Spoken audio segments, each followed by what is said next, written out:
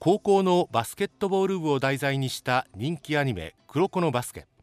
アニメ放送の開始10周年を記念したイベントが名古屋で開かれています。会場にはアニメの名場面を集めたパネルやキャラクターと一緒に写真が撮れるフォトブースなどがあり訪れた人がアニメの世界観を楽しんでいました。また今回のイベントのために書き下ろされたパーティーをイメージしたブースにはキャラクターの好物などが隠されています。4回目です。入場特典があったんで好きなキャラクターが欲しくて。今日も当たってない？また来ないといけないですね。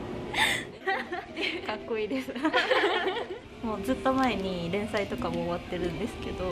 こうやってずっとやってくれるのがやっぱりすごい嬉しいなってこのイベントは今月22日まで東区のテレピアホールで開かれます。